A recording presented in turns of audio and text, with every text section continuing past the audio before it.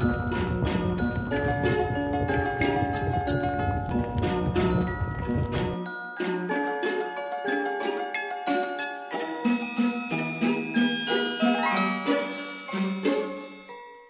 and welcome to lesson 3.1 in the Python tutorial series. Today we're going to be looking at accumulators. Accumulators are simply variables that we'll use in our program that will keep track of what's happening in our for loop so we can use that information later. For example, today uh, we'll be writing a program that can count the number of vowels in a string. If you think of the word hello, there's two vowels in that string. We're going to write a function that can use a for loop to count the number of vowels and then return that number to our program so that we could use that later. Um, in later lessons, we'll also be looking at how accumulators work with uh, list values, and that can be really important when doing some inventory checking and things like that in your games. So let's go ahead and get started with accumulators in lesson 3.1. So here we are in our programming environment. To get started today, we are just going to head over here to our uh, programming window and we're going to start by writing a short function. The purpose of this, this function will be to count the number of vowels in a given string. So we're going to call this count vowels and it will take a string as a parameter. And hopefully what it will do is return the number of vowels in that string. So let's go ahead and put a comment in here that says count the number of vowels in a string, returning that number as an int. So that's going to be the purpose of this function right here, to count the vowels in a given string. Now the first thing that we're going to have to do in this function is initialize an accumulator. When this function is initially run, every single time the number of vowels we've counted is zero because we haven't started yet. So I'm going to initialize a variable num vowels and I'm going to set it to an integer value of zero. This right here is going to be our accumulator. Every time we count a vowel in the string that the user passed as a parameter, we're going to add to the number of vowels. We're going to accumulate the number of vowels here in this variable. Now that we have that initialized, we need to use an if statement uh, paired with a for loop to determine as we iterate over the string character by character, is the character we're looking at a vowel or not? So pretty simple there. We're going to say for i in string, and we will iterate over the string character by character and each time we get a new character, we need to evaluate it to see if it's a vowel or not. And we can do that pretty simply. We're going to use uh, an if check, and we're going to say if i is in, and we'll do this uh, A-E-I-O-U and A-E-I-O-U. Of course, we could use dot upper and dot lower and you know eliminate the need to have two sets of variables here, but that'll be a simple way to do it for right now. So if we find that the character we're iterating over is one of these, which are the only vowels, then we need to add to our accumulator. So the number of vowels will add one each time i is in this value right here.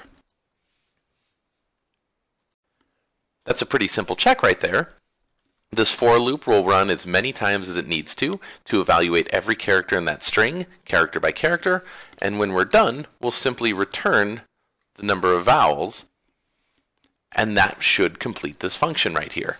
And we can actually give it a test now. So let's set uh, variable test number one will be equal to count vowels, and we'll pass in a string value of hello, which should equal 2. Test 2 will count vowels. And we'll put in some uh, a nonsensical word. We'll do A E I O U C V B N Y T R or something like that. And of course, this should give us five uh, a return value of five because there's five vowels in there. And we'll run test number three, which will count vowels, and we'll use the word television. And of course, television has one, two, three, four, five as well. So we should be looking for a value of 2, a value of 5, and a value of 5 when we run this program. So let's hit F5. And let's see, test 1 has returned a value of 2. Test 2 has returned a value of 5. and test3 has also returned a value of 5. So right now, this function is doing exactly what we want it to. It's counting the number of vowels, it's saving that in this accumulator right here, and then it's returning the number of vowels when the function is done.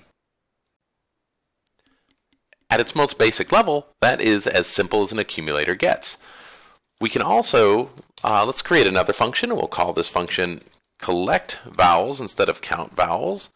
Uh, using the exact same concept. But what we're going to do is we are going to, instead of count the number of vowels, we're going to keep a, a uh, string. We're, we're going to keep every single vowel that we pass. So in a case like hello, uh, we should return E-O.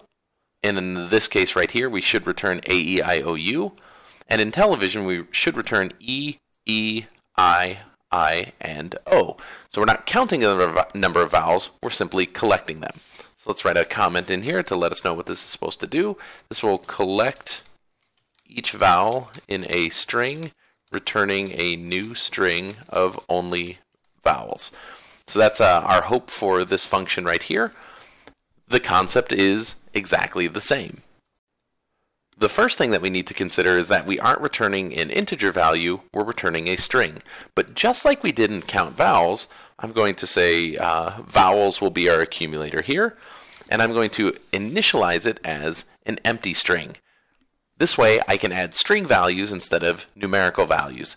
That's the big difference. They're both accumulators, they just have different values to them. Now, just like the uh, previous function that we wrote, the next thing we need to do is create our for loop. So I'll say for i in string, and then check to see if i is in a e i o u or a e i o u. And if it is, instead of adding 1 to a number value, I'm simply going to add the actual character itself to the accumulator. If you remember way back to when we did the early, early lessons, you can add strings to one another. So say A plus A equals AA, E plus A equals EA. So all we're really doing is kind of appending vowels to the end of a string. When we're done, we should be able to return vowels. We can go ahead and test collect vowels now by changing our uh, test values instead of vowels. Um, instead of count vowels, we're going to collect vowels. So I'm just going to copy this and change each of the functions that run here from count to collect vowels. Run F5 to run my program. And check each of the test variables. So test 1 has returned EO, that's the EO from hello. Test 2 returned AEIOU. And test 3 returned EEIIO and I can really use those for anything that I want. So in, if I were to collect vowels in the string, I am watching a video on YouTube. You can see that I've returned IAA and this big list of vowels here. And because I have the capital and lowercase uh, variations in my check here, when I collected an uppercase I, it of course returned that uppercase I. As far as an introduction to accumulators goes, uh, that's pretty much it right there. Hopefully that was understandable. Um, I'm going to go ahead and put a, a, uh, challenge program up on the screen here. So if you really understood accumulators, you should be able to write this next program. Of course, I'll be happy to help you with any questions that you have as you try to accomplish that task. So let's go ahead and take a look at the lesson 3.1 challenge program.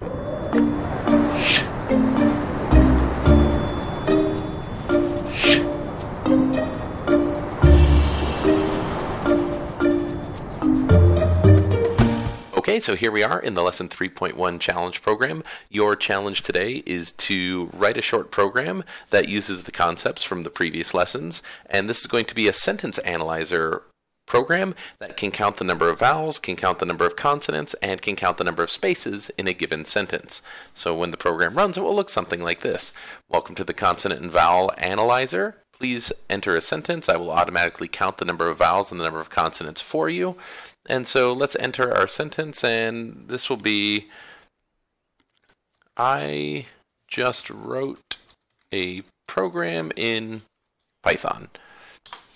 Now my program will go through. It says it's analyzing its sentence. I added some of the, the pauses that we talked about in the earlier lesson, and I can tell that there were 9 vowels, 17 consonants, and 6 spaces in that sentence. If I were to run it again and use a uh, different sentence, such as